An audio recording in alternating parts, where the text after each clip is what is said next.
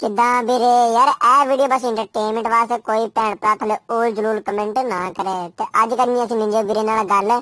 ਤੇ ਕਿੱਦਾਂ ਨਿੰਜੇ ਵੀਰੇ? ਪਤਾ ਲੱਗਾ ਤੂੰ ਦਾਰੂ ਪੀਣ ਲੱਗ ਪਿਆ ਯਾਰ। ਕਿਉਂ ਪੀਣਾ ਦਰਾਤ ਬੜੀ ਗਲਤ ਚੀਜ਼ ਹੈ ਵੀਰੇ।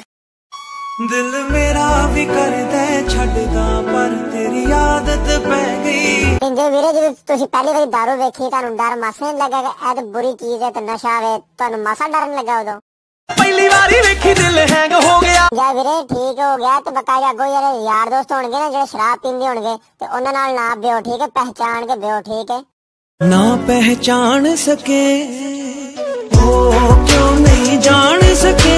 ਤੇ ਰੋਜ਼ ਦੇ ਪੰਜ ਪੈਕ ਪੀ ਲੈਂਦੇ ਹੋ ਠੀਕ ਹੈ? ਜਦੋਂ ਨਹੀਂ ਲੱਭਦੇ ਕੀ ਹੋਣ ਡਿਆ ਪੈਂਦਾ ਤਾਂ ਟੁੱਟਦਾ ਹੀ ਜਾਵੇ ਟੁੱਟਦਾ ਹੀ ਜਾਵੇ।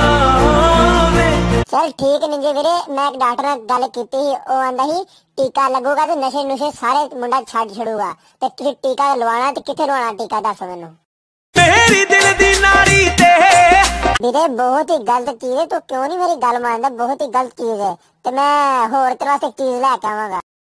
ਅੱਜ ਵੀ ਤੂੰ ਆਇਆ ਨਾ ਤੂੰ ਆਉਣਾ ਕੱਲ ਵੀ ਨਾ। ਬਕਾਇਆ ਦਾਰੂ ਦੀਆਂ ਬੋਤਲਾਂ ਮੈਂ ਸਾਰੀਆਂ ਚੁੱਕਾਂਗਾ ਤੁਹਾਡੇ ਘਰੋਂ ਅੱਜ ਆ ਕੇ ਨਾ ਸਾਰੀਆਂ ਬੋਤਲਾਂ ਚੱਕ ਲੈ ਆਵਾਂਗਾ। ਮੈਂ ਇੱਕ ਬੋਤਲ ਨਹੀਂ ਛੱਡਣੀ।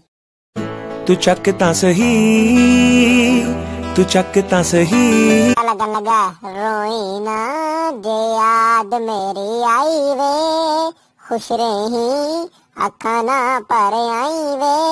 ਹੋਇਆ ਕੀ ਜੇ ਤੂੰ ਮੈਥੋਂ ਦੂਰ ਹੋ ਗਿਆ